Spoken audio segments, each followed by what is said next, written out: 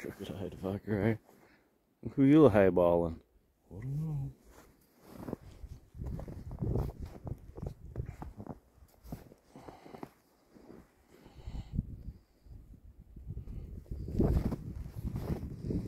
Lost a chunk of his head.